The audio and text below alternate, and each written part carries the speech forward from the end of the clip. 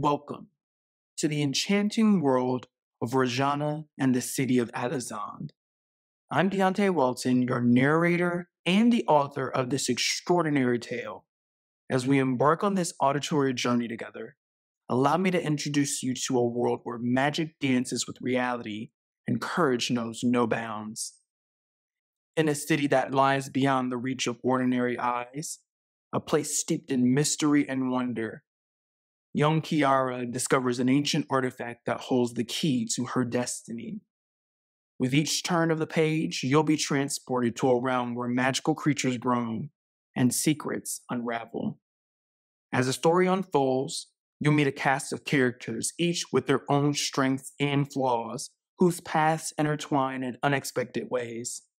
From charismatic and daring Kiara herself to the enigmatic inhabitants of the city of Alexandre, prepare to be captivated by their trials and triumphs, their sorrows and joys.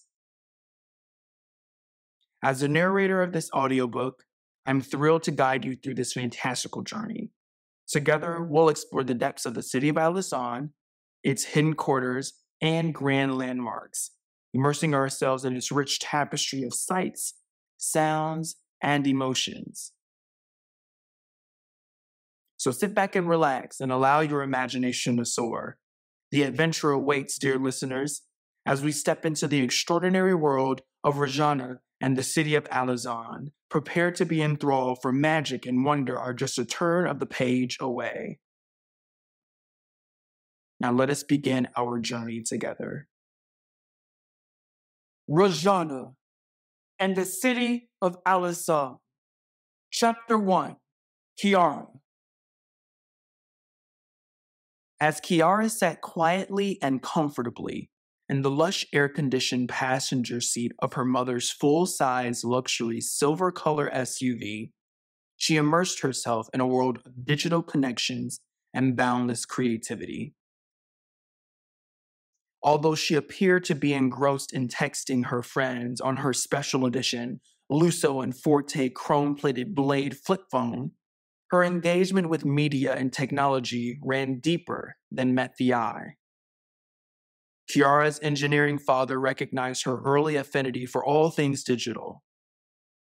Even before age four, he introduced her to the wonders of computers, laying the foundation for her technological prowess. Year after year, as a symbol of his love, and perhaps to bridge the gap of their limited time together, he faithfully gifted her a new mobile phone on her birthday. Kiara became an ESLAB baby before the term even existed, eagerly exploring the virtual and multimedia realm. During weekends spent at her father's house, Kiara's passion for technology reached new heights. She dedicated countless hours to her computer chair, fully immersed in the boundless possibilities offered by the digital landscape. As she entered the seventh grade, her desire for the state of the art manifested in her request for a Captivate, an unparalleled smartphone, one of the first, that seamlessly merged mobile communication and handheld gaming. Her father, understanding her unwavering commitment, surprised her with the coveted device as a Christmas gift, despite its hefty price tag of $700. With each passing year, Kiara's discerning taste continued to grow. By the time she reached middle school, she had developed a fascination for luxury brands appreciating their craftsmanship and allure. However, it's important to note that her parents did not indulge her every whim. Instead, they instilled in her the value of hard work and perseverance. Kiara learned the importance of striving for her desires, even if it meant putting in extra effort. An example of this was her diligent pursuit of a fake Chiche sun visor in sixth grade, a coveted item that required dedication and commitment. Maybe she hadn't asked for a fake Chiche, but she was happy with what she got. Technology and luxury seamlessly intertwined in the vibrant tapestry of Kiara's life. Her father's nurturing of her technological skills and unwavering curiosity nurtured her passion for the digital realm. Kiara embarked on a unique journey to shape her future endeavors. With each new milestone and acquisition, her understanding of the intricacies of technology and luxury grew, fueling her determination to push boundaries and carve out her path in this dynamic world. Still, Kiara navigated through a digital landscape where trends, fashion, and technology converged. With a keen eye for what was current and a passion for artistic expression, Kiara's journey extended far beyond popular gadgets and fashion. She reveled in the visual feast of television, drawing inspiration from its vibrant imagery and captivating narratives. In her sketchbook, she imagined her life as a media mogul, each stroke of her pencil or brush became an opportunity to shape a unique vision and infuse her art with the vibrancy and energy that would define her as a rising star in pop art. She possessed an innate ability to capture the essence of contemporary culture in her artwork, reflecting the ever evolving pulse of society. Her talent went beyond mere replication she profoundly understood the intricate relationship between popular culture and individual identity. Through her art, Kiara seamlessly blended consumerism, mass media, and personal experiences, creating a vivid tapestry that resonated with a diverse audience. But Kiara's innovative spirit and willingness to push artistic boundaries set her apart. Her creations transcended traditional mediums, embracing technology, mixed media, and unconventional materials. She fearlessly experimented with new techniques, combining digital elements with traditional craftsmanship and infusing her works with an electrifying energy that defied categorization. But alas, everything that glitters isn't gold. Kiara, at 14, found the world she was navigating was complex, where societal expectations clashed with her desires. While many of her male peers engaged in sports, she felt out of place and faced constant reminders of her differences. Whether from her parents, classmates, or struggles with fluctuating weight, the pressure to conform was relentless. Despite her genuine interest in sports like cheerleading and dance, Kiara wasn't allowed to pursue them. Society dictated what she should or shouldn't participate in based on her assigned gender. As she approached her first year of high school, Class of 2009, Kiara played her role, putting on a facade of a perfect life. However, deep inside, something ate away at her consciousness, gradually eroding her sense of self. Kiara shouldered the weight of being a first daughter, burdened by her mother and stepfather's expectations. Yet her parents expected her to conform to societal norms as a young man. Her adolescence was fraught with difficulties, unbeknownst to her identity as a transgender girl. And how could she have known? Her mother would gather the children in the living room and read Bible passages, emphasizing the religious condemnation of queerness. She hadn't discovered the vibrant world of ballroom culture or any other magic realm. She realized that her suburban environment had inadvertently sheltered her from a more fitting realm for the expression and energy of young transgender women without older members of the LGBT community or allies to serve as role models. She had no way of comprehending that the transgender women she saw on television, subjected to mockery and derogatory slurs, thrived in their worlds. In the mirror, Kiara saw a beautiful young black girl with long, straightened hair and full lips. Yet, she also glimpsed the profound pain and sadness she had carried for so long. It had become her constant companion, blending into the background like a dark canvas against which her reflection stood. Lost in thought, memories of her family flooded her mind between text messages. Her mother and stepfather professed their devout Christianity, but their commitment to attending church wavered and they frequently changed congregations. Nevertheless, they believed they were imparting their beliefs to their children. From a young age, Kiara sensed her differences from her siblings, and her younger brother, though unable to articulate it, admired her for it. Unconsciously, he contributed to Kiara's marginalization, treating her queerness with fear and mockery as societal norms dictate for young black boys. Subconsciously, Kiara never felt she fit into the mold her parents had set for her. It went beyond struggling with her gender identity. She endured emotional abuse and grooming within the confines of her own home, leaving her trapped in a trance like state. Expressing discontentment with her surroundings led to reminders of her supposed flaws, dismissing her as catty and feminine. Kiara's parents taught her she was a cisgender male, destined to lead a conventional cis heterosexist lifestyle, and that she should embrace it. Whenever she attempted to express her authentic self to her family, they dismissed her and told her she was confused. The weight of her family's expectations constantly burdened her.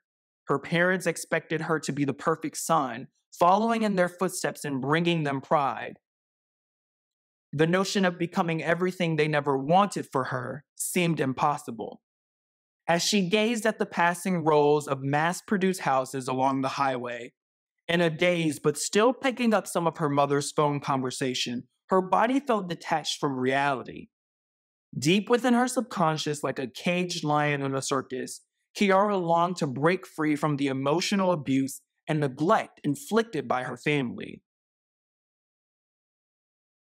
The sweltering summer sun beat down on the hood of the SUV as it rolled down the highway, but the AC went full blast in the interior. The truck entered the Diversity Meadows subdivision, and heads turned as it glided into the cul-de-sac at the end of East Rich Court, a quiet suburban street, and rolled up to one of the two impressive hilltop houses within. With two small ranch-style homes on either side of them, the large houses perched on the hilltops like royalty commanded attention and admiration from the neighboring dwellings. As Phaedra, Kiara's mother, pulled up to her sprawling home on the hill, she sighed exasperated.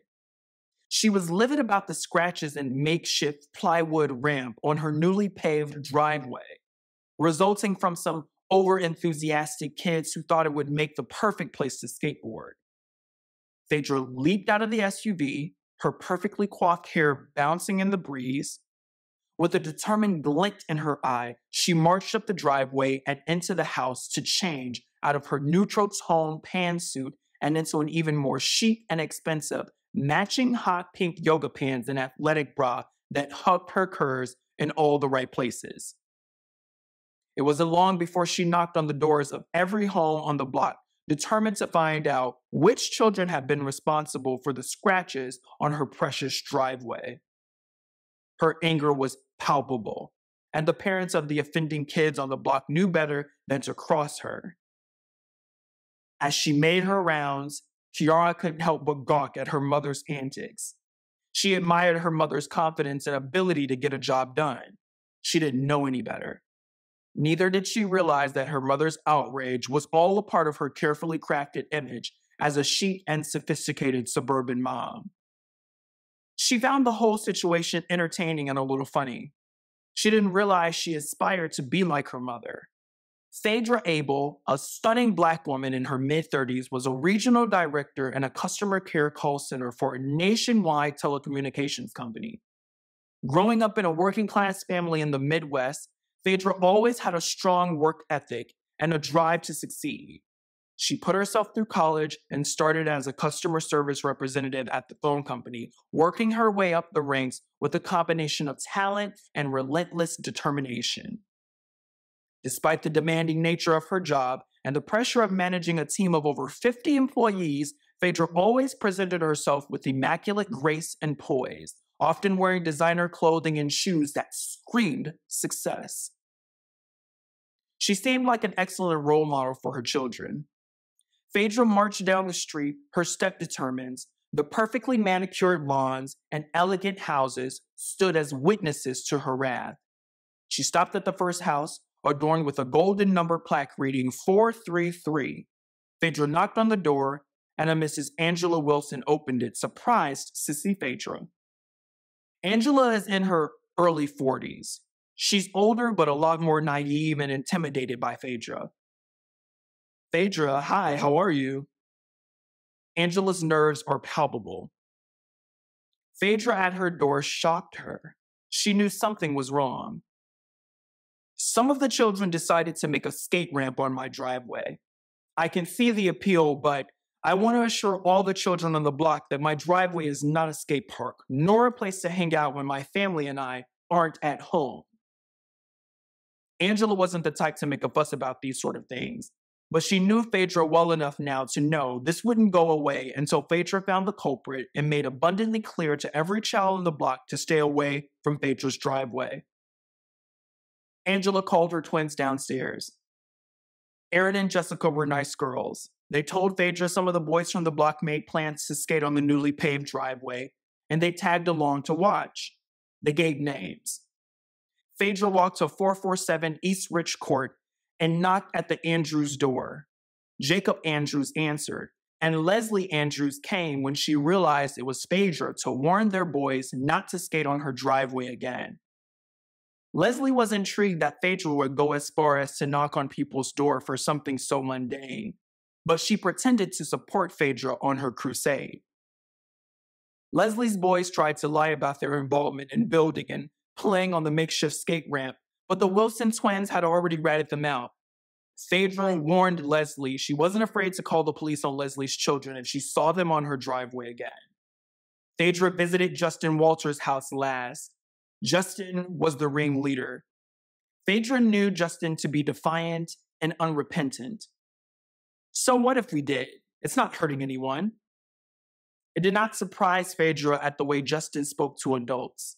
He spoke that way to his mother, and Phaedra found Mrs. Walker soft. Bobby, I'll tell you like I told Leslie and Andrew. I'll call the police if I catch your child playing on my driveway again. Mrs. Walker was appalled. Justin called Phaedra a bitch, but it didn't faze Phaedra. She dealt with white male executives in her workplace calling her a bitch all the time. If you know I'm a bitch, then you should stop playing games with me. Phaedra decided to keep some of her dignity and left the conversation there. She didn't want to argue with a 13 year old boy. Justin didn't want to show it, but Phaedra shook him. He would never skate on her driveway again. A seemingly respectable and polite woman Phaedra had a dark side that few knew about. Deep down, she was a manipulative narcissist who enjoyed controlling those around her. When it came time to discuss high schools, she asked Kiara if she wanted to attend the same one as the pastor's son. The high school was a private Protestant Christian school that cost an exorbitant $15,000 a year. Phaedra intended to cover the cost using the child support she received from Kiara's father, which seemed quite unreasonable. In an ideal world, Kiara's mother would have been less judgmental toward inner city neighborhoods and public schools and demonstrated a more compassionate and nurturing approach, fostering emotional stability while teaching her children to embrace the realities of the world without excessive reaction or compensating for their racial identity. Instead of planning to allocate the funds toward the expense of high school, she should have considered investing it in Kiara's future college education. However, Phaedra's priorities revolved more around intellectual pursuits, social status, and financial success than valuing courage and genuine friendship. Deep down, Kiara's desires held little significance for Phaedra. It was unreasonable for Phaedra to expect Kiara to achieve excellent grades or gain admission to a reputable college, as Phaedra wasn't actively involved in Kiara's education or her life as much as Phaedra believed. Phaedra often boasted about Kiara's ability to care for herself and her maturity beyond her years, recounting anecdotes of Kiara making peanut butter and jelly sandwiches for herself from age four.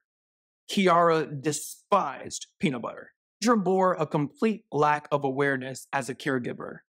When Kiara didn't show up as the perfect firstborn son Phaedra always wanted, Phaedra would casually remind Kiara that she was only legally obligated to provide necessities like food and shelter, considering it a clever remark that showcased her own supposed goodness.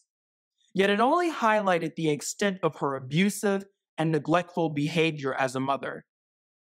Phaedra would threaten punishments if Kiara didn't meet academic expectations or behave well in school, using it to control her.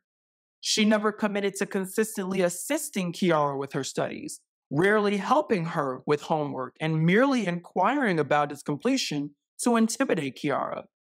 Still, Kiara was excited about attending the prestigious school and eagerly agreed. Kiara was so naive and didn't fully understand the true cost of her mother's offer. In Kiara's heart, she knew that she was different from the other kids in Diversity Meadows. She struggled with her queerness and subconsciously felt trapped in a world that didn't understand her. She had no friends in the neighborhood and spent most of her time locked in her bedroom, dancing in front of the mirror to her favorite girl group, Electric Angels, or sketching. Deep down, she longed to break free from the chains that bound her and discover who she was. The idea of attending a private Christian school seemed like the perfect solution. Kiara thought maybe she could find acceptance and understanding there. She was eager to explore the world beyond her family's narrow belief and to discover a new community that would embrace her for who she was. But the suburbs was suffocating Kiara. She felt like an outsider in her skin. She didn't understand that attending the private school would only reinforce the toxic beliefs she was trying to escape, or that her mother's offer was another form of manipulation and control to keep Kiara under her mother's thumb. As the day wore on, the incident with the skateboarders became the talk of the block. While the other parents whispered behind closed doors, Kiara couldn't help but chuckle. In a neighborhood where image was everything, her mother was the queen of the cul de sac, determined to protect her kingdom from any perceived threats, no matter how trivial they may be. As Kiara settled into her room, surrounded by all the trappings of what seemed a privileged suburban life, she couldn't help but feel detached. She wasn't aware that her family's obsession with appearance and status was just a veneer, hiding the emotional abuse and neglect beneath the surface. But for now, Kiara was content to sit back and relax, knowing her mother waged war on all the other parents and skateboarding children of Diversity Meadows. After all, there was never a dull moment in their little corner of the world. Later that day, as the sun set, Kiara heard her stepfather's car pull into the driveway.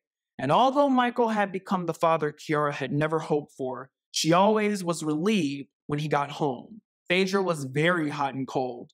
You never knew what her attitude would be like. She often became emotionally and even physically abusive toward Kiara when she didn't get her way. Michael was sometimes Phaedra's voice of reason. Kiara wasn't aware she hoped for better father figures, she never considered any of her parents could be better parents. Maybe she resented them subconsciously, but she always blamed herself for her parents' inept qualities. That's what her parents taught her to do. She didn't realize how her biological father groomed her to take place of Phaedra, always expecting Kiara to give him complete and utter admiration for nothing more than buying her things and taking her to amusement parks every other weekend. And Kiara gave the love a mother should give to their child to her mother, always inspiring her mother to be more creative and supporting all of her mother's creative ideas. Phaedra, on the other hand, had an affinity for discord when it came to Kiara's creative expression and questioned everything about Kiara's creative expression. Michael's car honked after he hit the lock button on his car key, and the house's security system chimed signaling the front door trigger. Heaven, Kiara's little sister and youngest sibling, ran up to Michael, hugging him tightly around his legs. Daddy, Heaven shouted. Heaven did this every day with such enthusiasm. Heaven was Michael's world, and she felt that. She didn't need to know how to articulate it. It was her life and experience. Subconsciously, Heaven understood that she was loved and protected, Kiara resented it because she couldn't possibly understand this relationship. It seemed impossible that she could ever experience it and that a man would ever love her as much as Michael loved heaven. Michael spotted Kiara in their home office, what they dubbed the computer room, as he walked toward the kitchen. She was instant messaging her friends on the desktop computer about superficial teenage nothings and possible meetings after graduation a chance to hang out with one another before they all went to different high schools. Michael asked Kiara how her day was. It was good, Kiara obliged. Just good? he asked. That's what you say every day.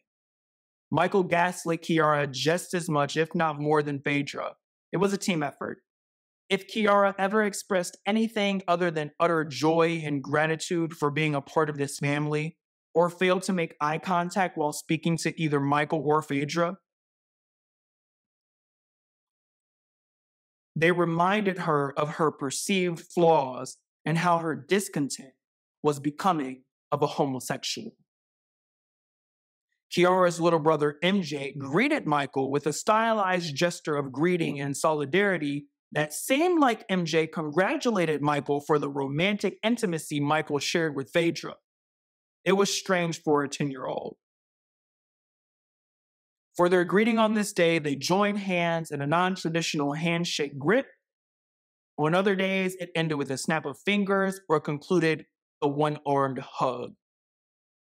It was a symbol of a code between Michael and MJ that they excluded Kiara from. Michael put his work bag on a chair at the kitchen table and walked toward Phaedra, who was standing over the kitchen counter. She leaned toward him for a kiss, and after, Michael immediately asked about the makeshift plywood ramp on the driveway. Phaedra couldn't wait to rehash her outrage with her husband. Phaedra's heart raced as she retold the events of the afternoon. She knew he enjoyed hearing about the drama in their otherwise mundane lives. Michael, always aware of his wife's emotional needs, asked about every detail before she could insinuate that he didn't care. Michael was a man of average height with a plain appearance.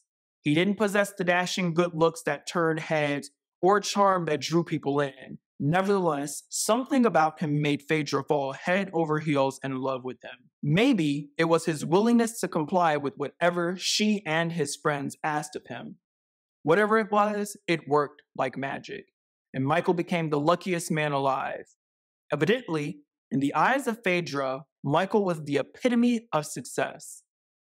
He may not have been the most charismatic or interesting person, but with Phaedra's taste and ambition on his side, he was unstoppable. She saw something in him that others didn't, and Michael rose to great heights with her unwavering support. He became the man who could do no wrong in Phaedra's eyes, and she elevated him to a level of importance that he could have never achieved on his own. For Kiara, Michael was a different story altogether. He may have been the man who won her mother's heart, but he was more of a bystander in Kiara's life. He wasn't the kind of father who would pick Kiara up and twirl her around, or the kind who would engage her in meaningful conversations. It's not as if he hadn't known Kiara since she was a toddler. Kiara longed for a deeper connection with Michael, but always seemed too preoccupied with pleasing Phaedra, Heaven, and MJ to notice his stepchild's needs. Despite his shortcomings, Michael was still the man of the house, and Kiara knew better than to challenge his authority.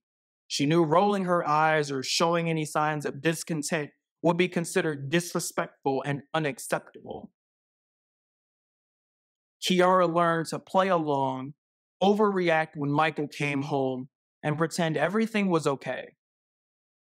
However, Kiara felt invisible and disconnected from her family.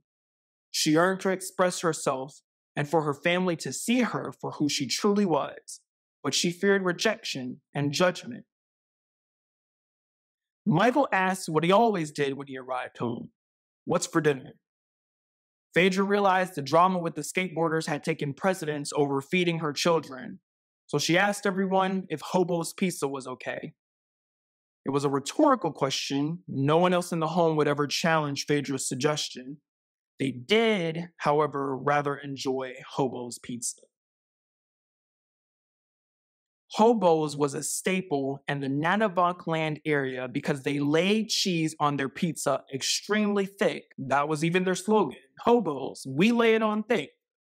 It's made with the finest ingredients like marinated and grilled strips of full free range chicken breast and holds just the right amount of grease Phaedra told Kiara to call hobos and order a family sized cheese and sausage. As everyone else prepared to watch the family's favorite reality competition show, Scraps, Island of the Idols, on the big screen TV in the Great room, Kiara enthusiastically plopped down on one of the bar stools at the island kitchen countertop, flipped open her cell phone, and dialed Hobos. She nearly remembered Hobo's Pizza's number after the many times she called to order, but there was a newspaper insert stuck to the fridge using a magnet with the number on it. Kiara turned to read it to ensure that the last two digits were correct. As the woman on the other end of the line recited the order back to her, she realized she didn't have her mother's debit card in hand. So she awkwardly asked her mother for her debit card and secretly blamed herself when her mother became annoyed. Phaedra called MJ, who was still upstairs, so look for her purse in the primary suite and bring it downstairs if he found it. JM, she yelled. Kiara broke a sweat. She blamed herself for making the Hobo's Pizza employee wait and for agitating her mother, and she helped look for the purse. She held the shiny, expensive flip phone between her shoulder and cheek and opened the coat closet to sift through it. Here, use my card. Michael pulled his wallet from his back pants pocket as he reclined on the blue velvet sofa with his feet raised on the matching ottoman. He raised the debit card, and Kiara grabbed it from behind him. Okay, I'm ready. Is it the card ending in 4936, ma'am? If Kiara wasn't sweating before, she was spiraling on the inside now. She couldn't handle others misgendering her. Even though she was supposed to present as a prepubescent boy, Kiara's parents expected her to be a man. The Hobo's pizza employee reminded her too much of her anxiety and fears to live up to the expectations her parents projected on her, and that deep down, she was transgender. Yep, that's the one. Her voice cracked. She was incredibly embarrassed. Okay, that'll be 4263 and we'll arrive in one hour. Pressed, Kiara shut the phone and breathed. She sat on the love seat, her elbow on the armrest, head resting on her balled up fist. Kiara bent her knees back, tucked her feet behind her, and stared at the TV. The rest of the family huddled on the sofa, Michael and Phaedra in the middle, and they enjoyed the rest of their evening together.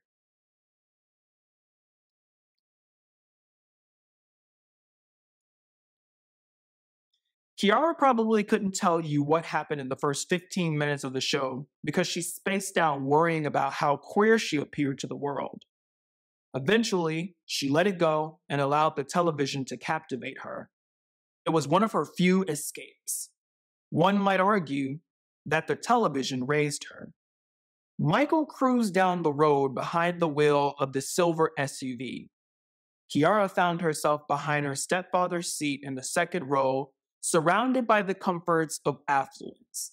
Her little sister Heaven sat next to her, captivated by the vibrant display on the built in TV, tuned to the Keller Network original movie Harmony Unleashed, which had captivated young girls' hearts worldwide.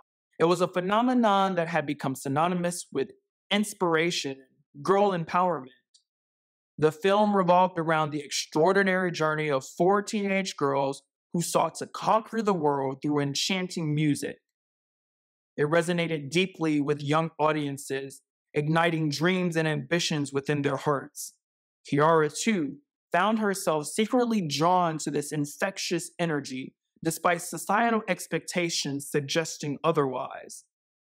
She yearned to express her appreciation for this girly phenomenon openly but the fear of judgment restrained her. So she eagerly seized any opportunity to discuss the movie whenever it felt acceptable, hoping to convey her hidden admiration subtly.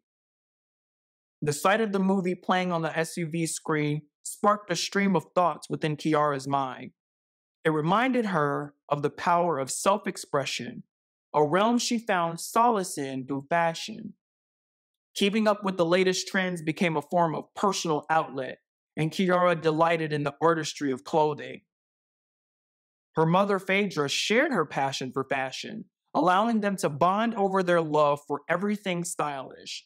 However, this connection came at a price, as Phaedra occasionally asserted control over Kiara's wardrobe choices as punishment.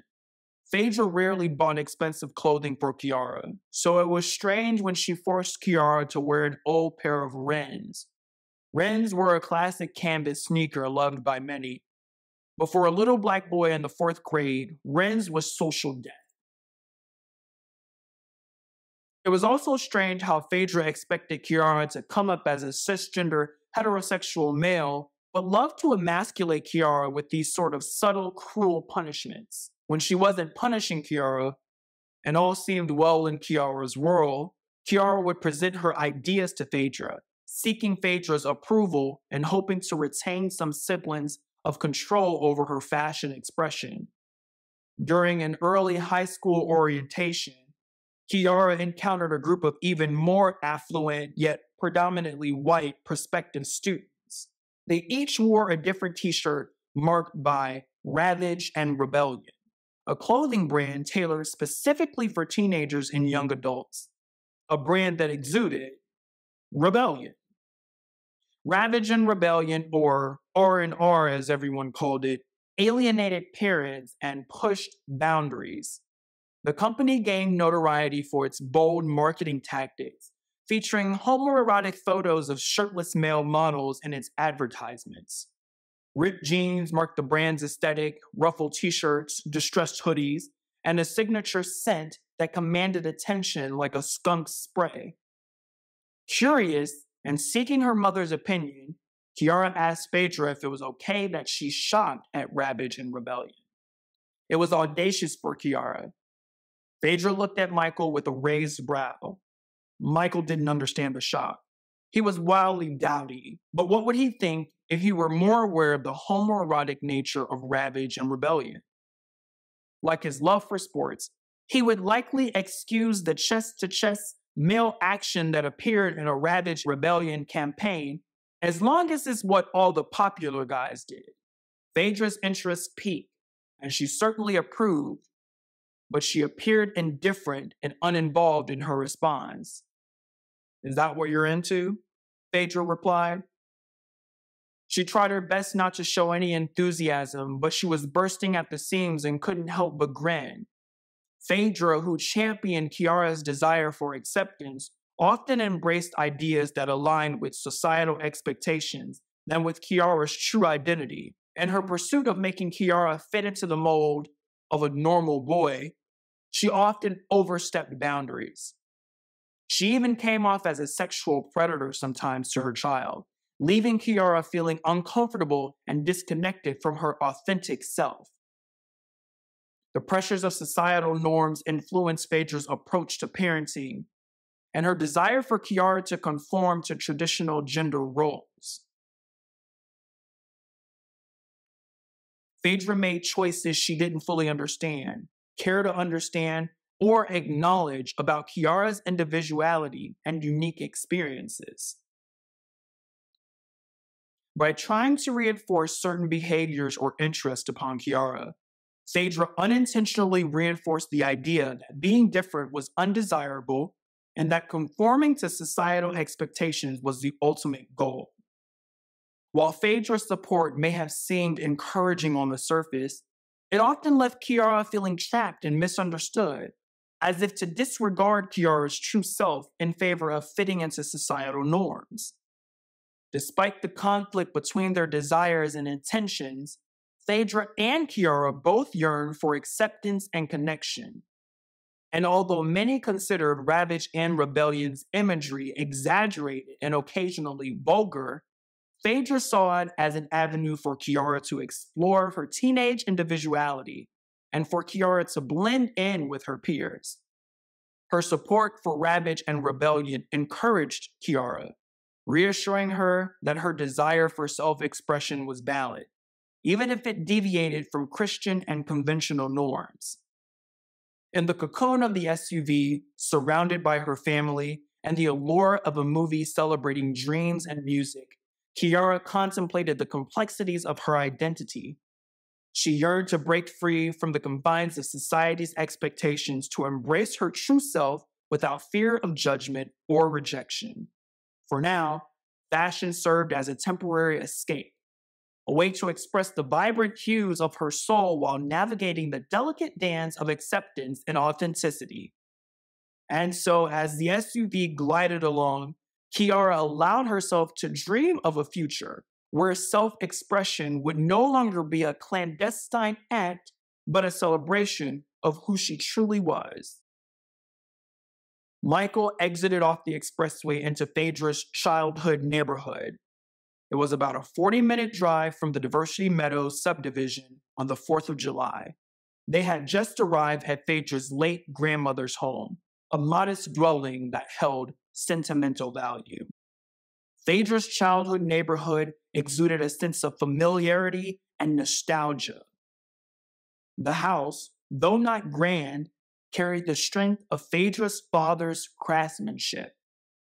As Phaedra stepped out of the SUV, a local who always seemed to be outside whenever she visited greeted her. Hey, Hollywood, he shouted. That's how he greeted her every single time he saw Phaedra. He embarrassed and agitated Phaedra at times, but it would strike her as a cause for concern if the man no longer saw her as the glamazon that she was. The man's name remained unknown to Kiara and her siblings. Phaedra exchanged greetings with a fake grin, her pink stiletto heels and fluffy pink feathered toes contrasting with her jeans.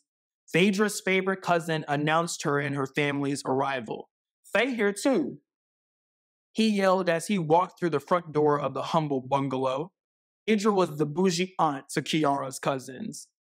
Soon, the entire extended family filled the two level house, exchanging blessings and greetings. The narrow house resembled a brownstone. Although much smaller and made of regular orange brick, it lacked the same grandeur. However, its spacious lawn stretched from the front to the back, providing a sense of openness. Phaedra's aunts approached, enveloping her and her cousin in warm embraces, feigning shock at how much Kiara and the other children had grown. Kiara felt excitement and nervousness, returning to where she spent many childhood summers with her favorite cousin. Kiara's apprehension grew when she considered reuniting with her favorite cousin's older sister and her older male cousins. They were the first to challenge Kiara's identity, causing her to struggle with proving her masculinity. The carefree running up and down the block on Madison Avenue had transformed into more mature strolls. Despite this change, Kiara still felt a sense of anticipation as she rejoined her cousins. After a day filled with dancing, eating, walking under the blazing sun, and lighting firecrackers, Kiara noticed the lingering sense of outside and the 4th of July on her. Seeking a moment of reflection, she entered the downstairs bathroom and her late great grandmother's bedroom to refresh herself. The room stirred memories within her, and as she passed by the closet, she opened its door to reveal her great grandmother's house robes. Her great grandmother, who had always made her feel loved and accepted, especially during her formative years, seemed to guide her even from the spirit realm. Kiara's gaze fell upon her reflection in the bathroom mirror after she washed her hands, sticky from barbecue sauce residue, where, away from the influence of the girl she dreamed of being, she recognized her handsomeness. Then a rattling noise interrupted Kiara's introspection from her great grandmother's antique jewelry box. At first, she dismissed it as a hallucination, but the persistent shaking startled her again. Rushing to the box, she tried to hold it down and found herself overpowered by its force. Eventually, Kiara opened one of the tiny drawers to figure out what caused it to shake the way it did. Inside the drawer was a luminous pink pearl ring with a gold setting. As she picked up the ring, a gust of wind swept through the room and energy surged through her veins. At that moment, the room transformed into a swirling vortex of colors and light, and it irresistibly pulled Kiara into a portal. Tumbling through the gateway, she experienced weightlessness, catching glimpses of her late great grandmother guiding her through the mystical realm. Whispers of ancestral wisdom echoed, encouraging her to embrace her heritage and tap into her hidden power. The portal spat Kiara out onto the sandy shores of a gulf in the south. As she gathered her bearings, she noticed a beautiful black woman seated on the sand, exuding an aura of contentment. Adorned in a powder blue dress with oversized leg of mutton sleeves and a flared skirt that gave her a sculpted, well defined hourglass shape and a popular pinned up hairstyle of her time, the woman's slim yet curvy figure added to her captivating presence. The woman turned her gaze toward Kiara and bestowed her with a warm smile, her eyes reflecting wisdom and familiarity that piqued Kiara's curiosity. Suddenly, the scenery shifted and Kiara found herself floating in the night sky, bathed in an ethereal glow of the full moon. To her astonishment, she witnessed the woman gracefully soaring on a broomstick, moving through the air with a mesmerizing slowness. It's as if the world was stuck in a time warp, time itself moving at a glacial pace. The woman looked Kiara in the eye, her gaze piercing right through Kiara, placed her finger over her lips, and signaled Kiara to be silent, creating a soft yet full swishing sound that reverberated throughout the cosmos. Kiara reached out, hoping to catch her, but the woman glided past Kiara, her movements exuding a sultry and seductive allure.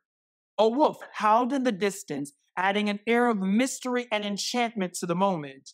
As the scene transformed again, Kiara floated into outer space. The earth appeared far below. Its vastness and beauty were both awe inspiring and terrifying. The woman and her broom, now adorned in a sleek, gold plated armor that covered her entire body, continued her graceful flight. Kiara, caught in the weightlessness of space, felt her breath escaping her, realizing the impossibility of survival without a spacesuit.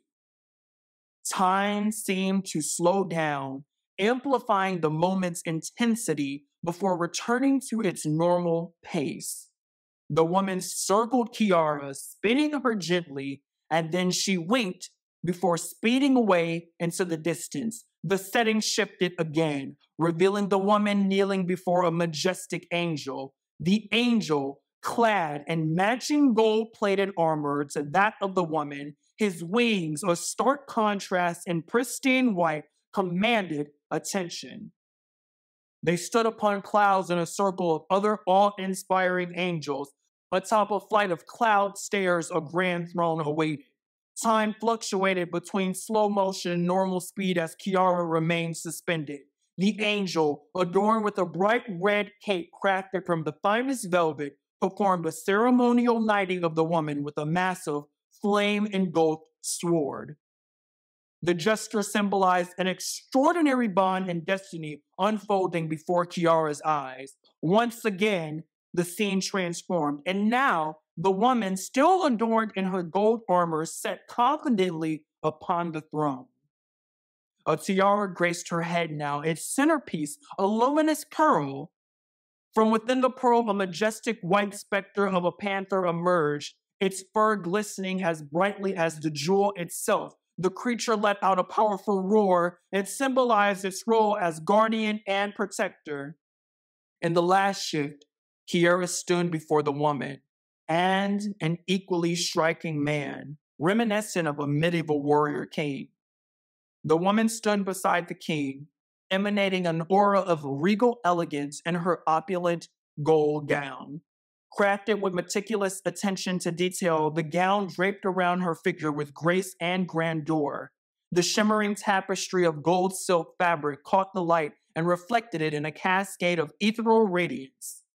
The woman's atelier adorned the gown with intricate embroidery and delicate lunar patterns woven with threads of pure gold. Swirling motifs and intricate designs mirroring the cosmos created a mesmerizing tapestry across the fabric, capturing the eye and inviting admiration. Each stitch was a testament to the craftsmanship and artistry that went into creating this masterpiece. The silhouette of the gown was both flattering and majestic. It embraced the woman's curves gently, accentuating her graceful form. The neckline was adorned with an intricate beading using pearls of all different sizes and jewels and framed her face with a touch of luxury. Cascading layers of silk and chiffon added a sense of fluidity to her every gesture. The train of her gown showed behind her, flowing like a river of gold, leaving a trail of elegance in her wake. Every little gesture she made exuded confidence and poise the embodiment of a queen in her splendid attire. Completing her ensemble were ornate accessories.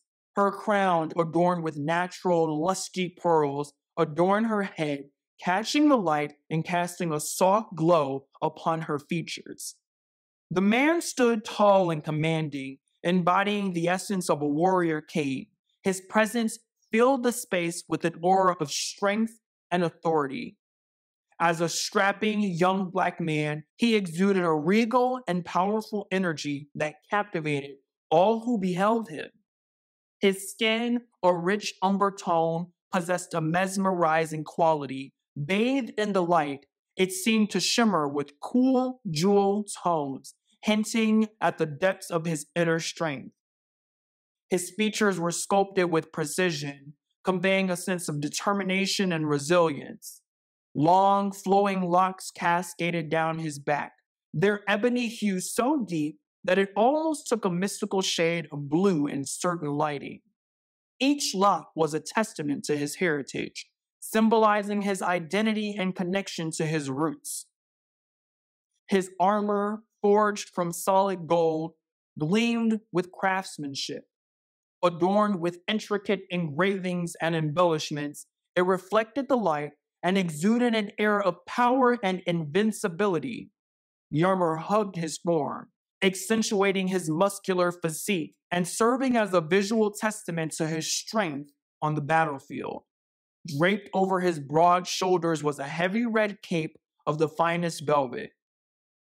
The vibrant hue of the fabric added a touch of power to his appearance, contrasting beautifully against the golden armor. The cape flowed behind him, symbolizing his authority and command as he moved with grace and purpose. He commanded attention and respect with every gesture, his warrior spirit evident in his posture and how he carried himself. He exuded a quiet confidence that demanded admiration. As the embodiment of a warrior king, he represented physical prowess, wisdom, compassion, and the weight of leadership. The man and woman stood on the threshold of a magical forest, facing a blacksmith and a large ominous onyx stone serving as a workspace. Their gazes locked, reflecting unwavering determination and boundless love as the man and the woman stood side by side their hands gently intertwined, a palpable energy radiated between them. Time seemed to stand still as they focused on the modest amount of pure gold before them. With a graceful and deliberate motion, they extended their hands over the gold, their palms facing down. A soft glow emanated from within as if their hearts had transformed into radiant orbs of light. A gentle hum filled the room. The harmonious convergence of their heart magic. A wondrous transformation began as their fingertips brushed the gold surface. The metal seemed to come alive, shimmering with an ethereal glow. Every ounce resonated with the essence of their love, infusing it with a mystical power that transcended the realm they were in. The forest where they stood was awash with an otherworldly luminescence as the gold transformed, taking on an iridescent hue. it seemed to pulse with life, pulsating with the energy of their combined souls. Each atom of gold absorbed with their devotion, dreams, and persistent connection, becoming a vessel of their profound love. Without needing a cast or a forge, the gold shaped itself into a delicate, wire thin, split pave setting, shimmering with brilliance. The angel of God descended upon the blacksmith's stone, its spirit falling upon the metal like mist, causing diamonds to form magically. The pearl, bound by spirit, found its rightful place within the golden setting.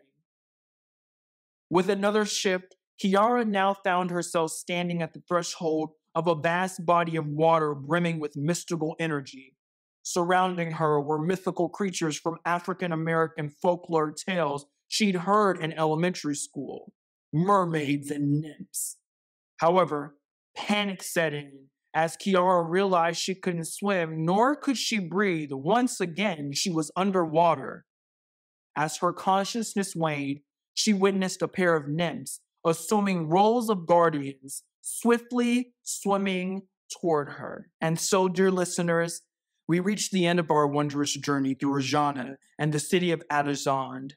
I hope you have enjoyed this immersive experience where imagination and reality intertwine to transport you to a realm beyond our own. But fear not, for the adventure does not end here. I invite you to join me every Monday at 8 a.m. Eastern for the release of a new chapter of this magical tale. You can find the chapters on the River Furnace Patreon at patreon.com slash riverfurnace, where you'll have access to the unfolding story. Additionally, I encourage you to visit my YouTube channel at youtube.com slash Deonté Welton. There, you'll find the complete audiobook, allowing you to revisit the captivating world of the city of Alexandre and her extraordinary journey whenever your foot desires. Before we part ways, I want to express my deepest gratitude to each and every one of you for embarking on this adventure with me. Your support and enthusiasm have made this journey all the more magical. Together, we have delved into the depths of imagination and brought this story to life. As we bid farewell to Rajahnna and the city of Alexandre, may the lessons learned, the friendships forged, and the triumphs celebrated linger in your hearts, inspiring you to embrace the extraordinary within your own lives.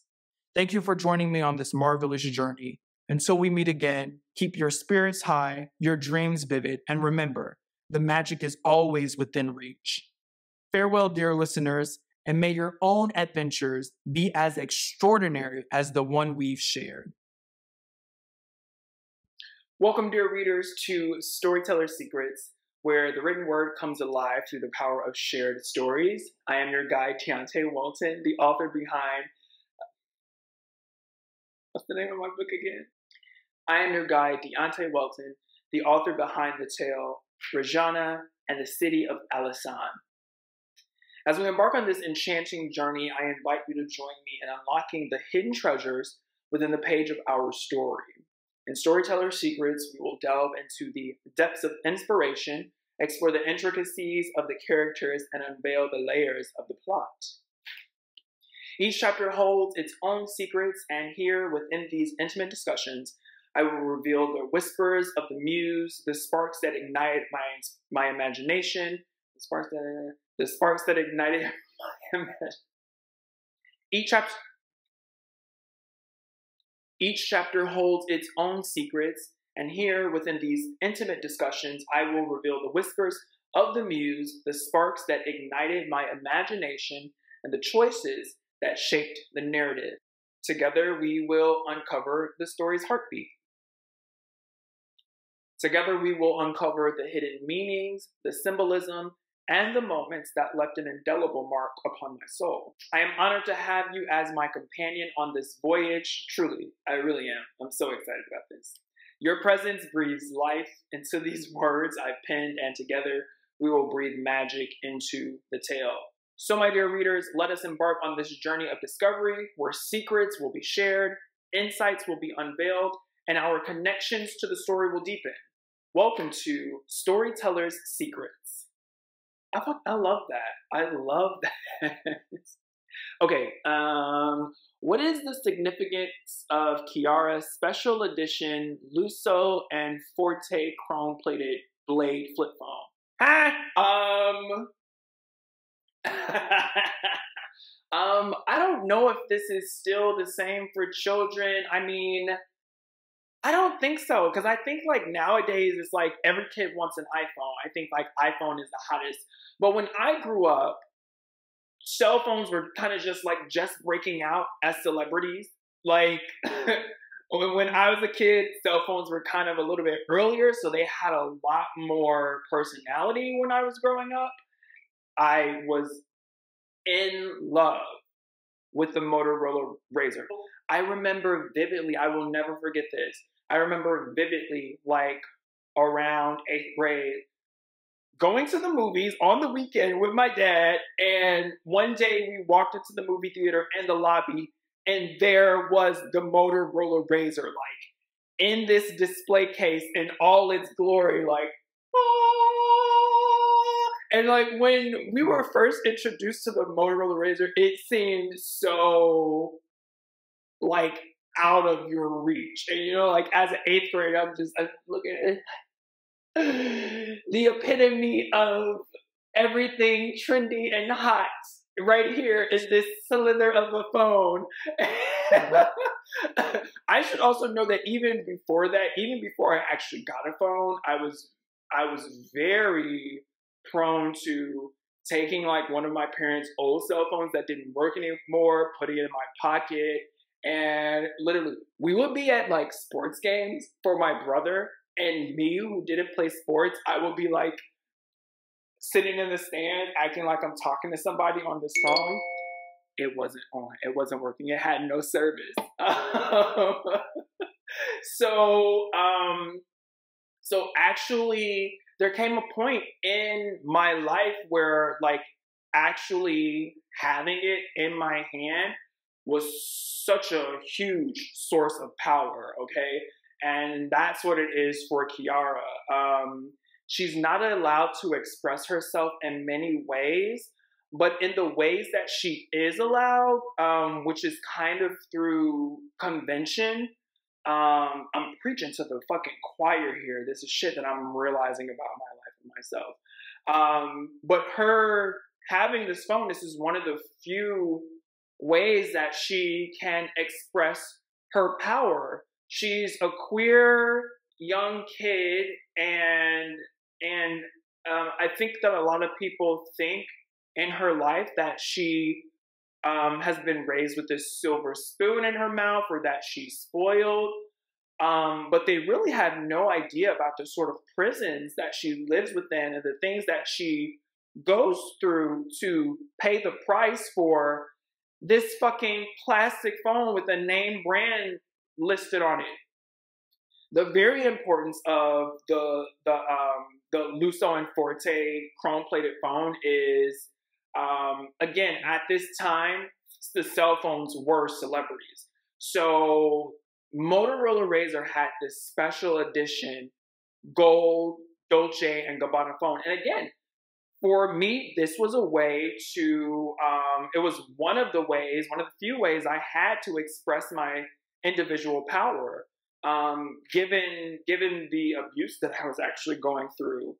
Um, and so it's really funny. It was like at one point in my life, it was it was like this sort of beacon to me behind this plexiglass, um, you know, case that I would dream about me going into this movie theater lobby and stealing like Mission Impossible, you know, secret agent missions seeing myself like cascade down from the lobby of this movie theater and I fucking uh, do this sleuth uh, laser beam the top of this display case off and pull the phone out. Like that's how coveted it was for me. So to go from that and then like like a few years later, maybe two or like three years later, realizing that I have had the privilege of having phones and it just got to the point where this is I realized we're like this is something that I'm always going to have because this is something that my dad is providing to me as a means to have a connection. And then there's also like the fact that my mother really enjoys when I play into conventional things. And so th- these are the sort of things that I was allowed to have and the sort of power I was allowed to express. Um, and I, that's that's what makes mean kids mean kids. Like that's what makes mean girls mean girls is that little bit of power that they're given. Like they are they are like they're given that power by their parents because there's so many other things that they can't do, and so they're like, well, this is the power that I have, and I'm absolutely going to use it, and I absolutely used it. Um, I I was definitely a bully like once or twice in my life, and I look back on those moments cringing, like, oh my god, like I can't believe I did that. I can't believe I said that to that person. Um, but other than that, I I had fun with it. People still like you know imposed their opinions on me and hated me because of the privilege that I thought that they thought I had. I didn't have a lot of privilege. Privilege, like yeah, we lived in a nice home, um, but there was so much that went into us having that. Not only my parents um, having to go through much to get that, but also um, the children in the house having to go through a lot of that because of what the parents were going were going through in order to give us a life that they never had. how did Kiara's family dynamics and emotional abuse contribute to her sense of isolation and unhappiness? Um, that was that's really a spot of magic in itself. Um, I guess it's something a little demonic and a little hellish. Um, because Kiara, she doesn't know that she's unhappy. She doesn't know that she's isolated. And she doesn't even know that the reason why she doesn't know that she's isolated and the reason why she doesn't know she's unhappy is because she also doesn't know that she's blaming herself for the choices that her parents make. And she's blaming herself for her parents' inept qualities. So, I mean, she's really in hell. Like a prison, okay? And I am I'm proud enough and bold enough to say that there are kids who would probably be perceived as a lot less fortunate than Kiara. They're not. They're not. I wouldn't wish the suburbs on anybody. I would not wish the suburbs on anybody. Um, and and that's the truth. I'm sorry, that's the truth. Um, you know, kids who are who are not subject to that sort of prison that is the suburbs and conformity. Um, they may not have all the resources. Really, Kiara didn't have a lot of resources. If we're really looking at it, all of the resources that she had, she had no control and no distribution over them. Um, it was really everything that her parents said that she can have. And her parents really didn't have a lot. That's the really sick part of conformity. It's like these people are are pretending that they have something. Um, you have to understand this. Even the families who actually could afford a lot and who could actually have everything, they are still missing a spirituality, a connection. And you don't have to believe in religion, you can be an atheist and still understand that a key to happiness is a higher power and it is God or it is a connection to your subconscious, a connection to your inner self. That's spirituality. That's the key to happiness.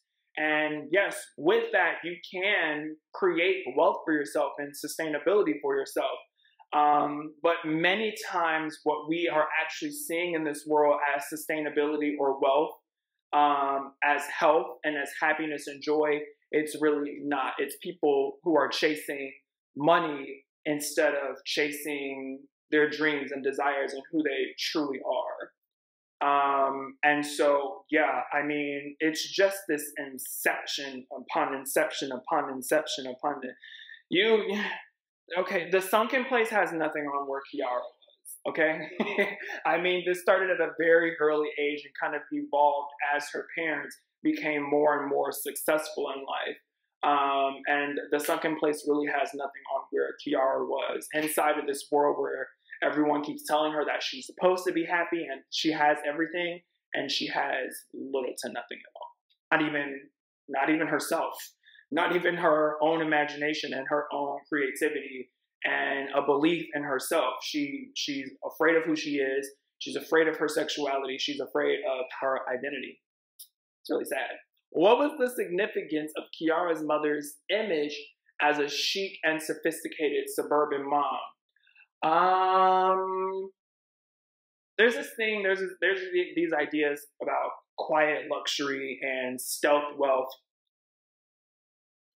um, and I think that there are parts of that that are true. I do think that there are wealthy people out there who truly do have a really great connection with themselves, have a really great creativity and and really great um, spirituality, and who really do live a life of joy and happiness. Um, a lot of those people are really mature and chic and truthfully and honestly they don't need a lot to you know you know um they don't need to show off. A great example of that is carrie from sex and the city. Um carrie doesn't know who she is at all. Carrie is really a really awful character. I recently just watched Sex and the City over again, and Carrie has to be the most annoying person in television history. I really was like, wow, I can't stand this lady.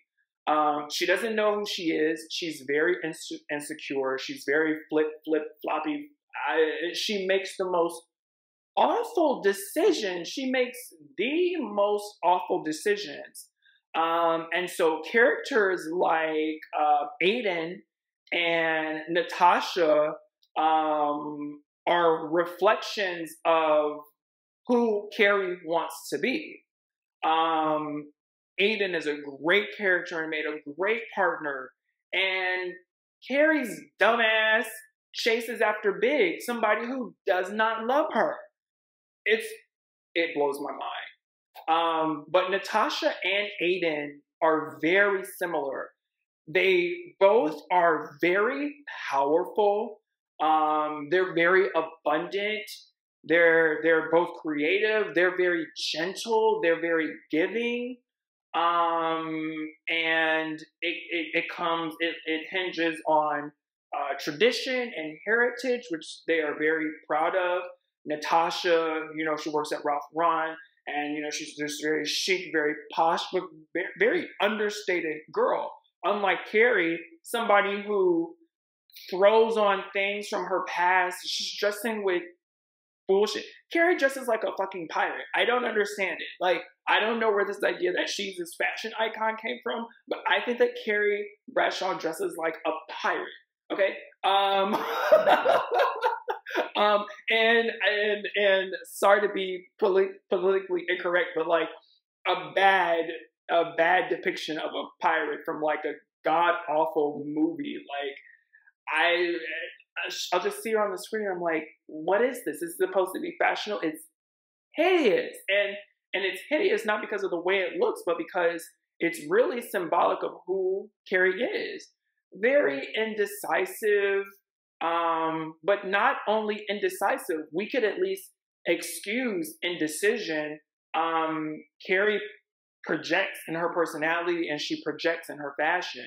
And she's always ragging on someone who's got their shit together because she doesn't have her shit together. Um, on in conjunction to uh, and in juxtaposition to Natasha, you have Aidan, who is this country guy, very mellow, very relaxed. Um, he actually likes to have fun and and can show up and be just as quirky as Carrie is, even though she can't meet him on the things that he wants to do, um, he is always playing into her games because he has, he's very mature and he has the balance to be able to have fun with someone who doesn't have their shit together and also say the truth of who he is, this very rustic, laid back guy. I mean, you have to look at his business. Aidan is you know, Carrie thinks of Aidan as like this country bumpkin, you know, who wants to frolic out in the forest, you know, build houses in the forest. But Aidan is actually a very chic, very successful furniture designer. And he's all of that because he's true to who he is. And he doesn't have to overcompensate for that. Um, I say all of that to say that Kiara picks up a lot of those things from her mother and and that is the sort of thing that she believed that her mother was. She believed that there is, you know, a lot of power there. Um, and there is because Kiara's mother gets that from the heritage of their family. That's how a lot of the older women uh, in the family are. Kiara's um, great grandmother um, on her on Kiara's um, Kiara's great grandmother is Phaedra's paternal grandmother.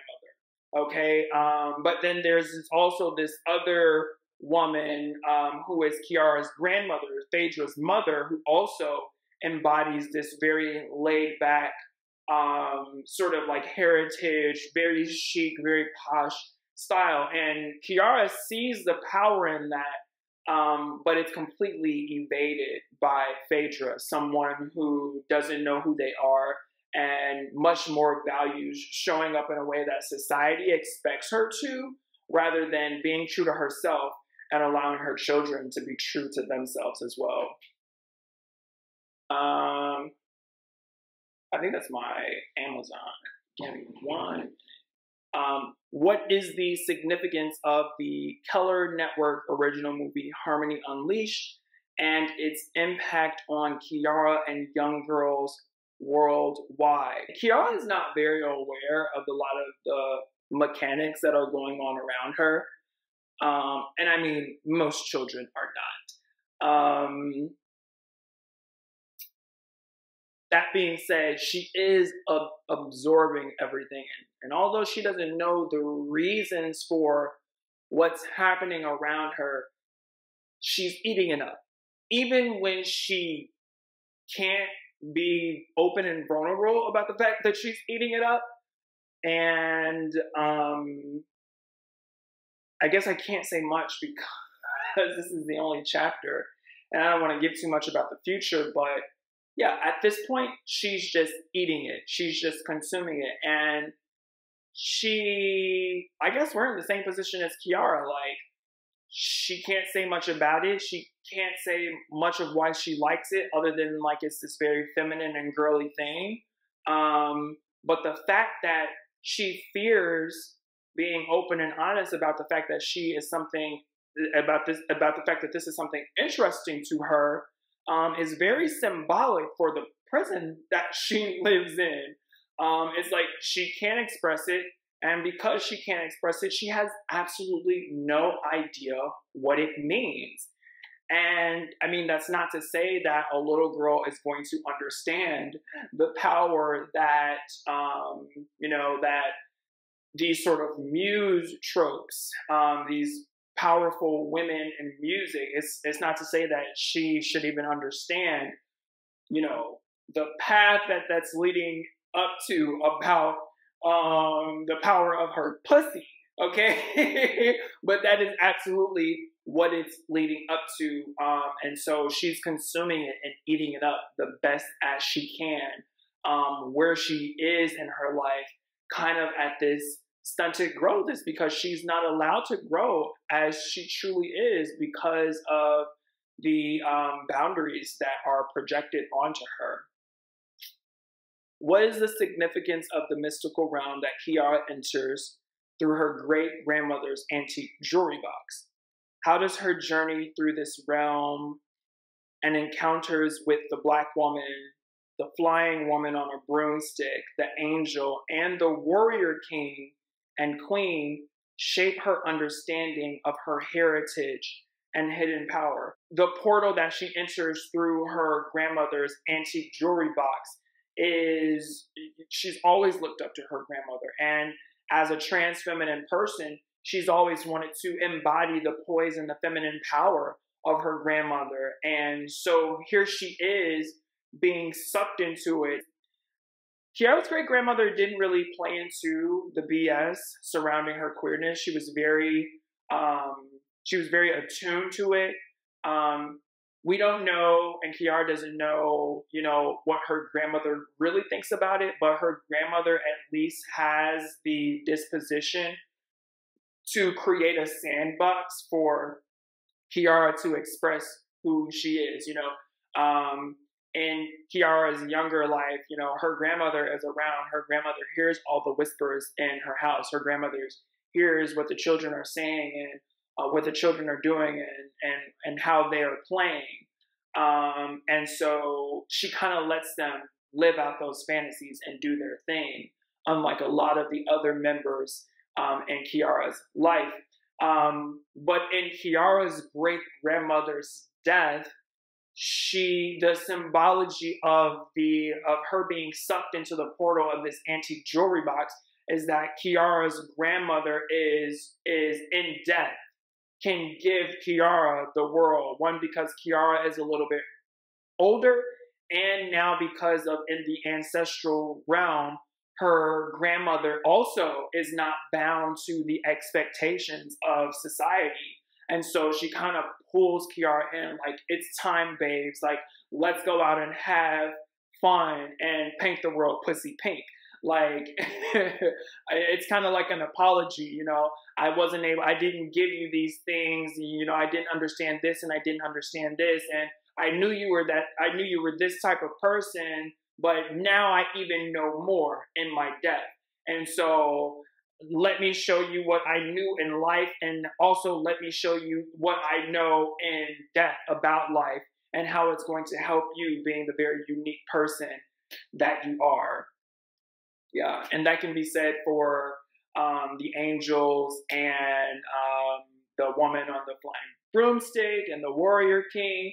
All of that is definitely in um, Kiara's great grandmother as a as a spirit guide all of that is sort of this symbology of what Kiara's great grandmother is giving to her, the knowledge and wisdom that she's giving to Kiara about who Kiara really is and the power she actually holds.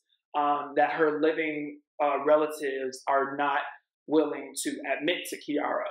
They know, they absolutely know.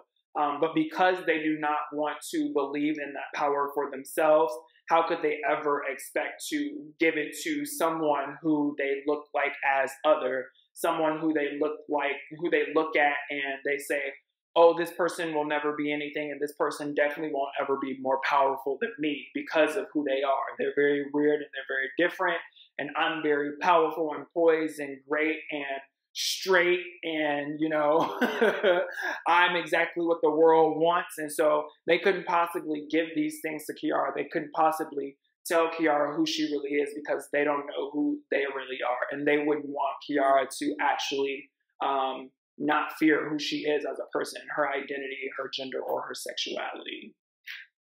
Yeah. Join me every week as we explore a new chapter releasing the magic within. Remember a new chapter of our adventure is available every Monday at 8 a.m. Eastern on Patreon at patreon.com slash riverfurnace and on my YouTube channel at youtube.com slash Deonté Welton. I will see you all then. Bye.